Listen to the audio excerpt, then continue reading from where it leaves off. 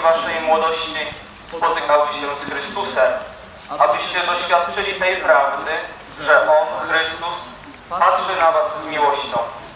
Gdy wszystko przemawia za tym, aby zwątpić w siebie oraz w sens własnego życia, wówczas to spojrzenie Chrystusa, świadomość miłości, która w nim okazała się potężniejsza od wszelkiego zła i wyniszczenia, ta świadomość pozwala nam przetrwać.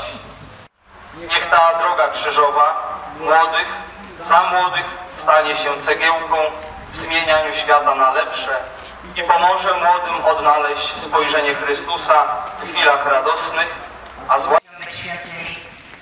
To właśnie jest wolność, którą Chrystus was wyzwolił.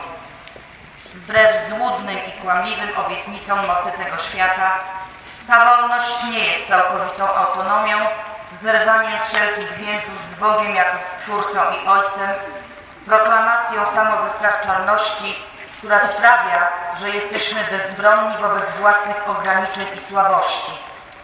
Samotność Manila, 1995 rok. Ojciec tak umiłował świat, że Syna swojego jednorodzonego dał dla zbawienia człowieka. A Syn z kolei tak umiłował Ojca, że uczynił tę Jego miłość do grzesznej i potrzebującej pomocy ludzkości swoją miłością. Drodzy młodzi, Rodzice i starsi czują nieraz, że stracili z Wami kontakt i są tym zaniepokojeni. Z naszej winy wielu starszych rodziców odczuwa osamotnienie. Nieraz jesteście bardzo krytyczni wobec świata dorosłych, albo oni są bardzo krytyczni wobec Was. To też jest prawdą. ból, ciemność, beznadzieja, rany, które widać lub nie, upadki tak wielkie, że nie ma już siły wstać.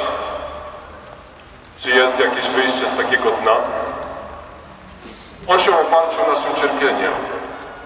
On dźwigał nasze boleszki, dźwigał nasze zniechęcenie, poczucie samotności i apatii. Modlitwa liturgiczna w sercu Kościoła.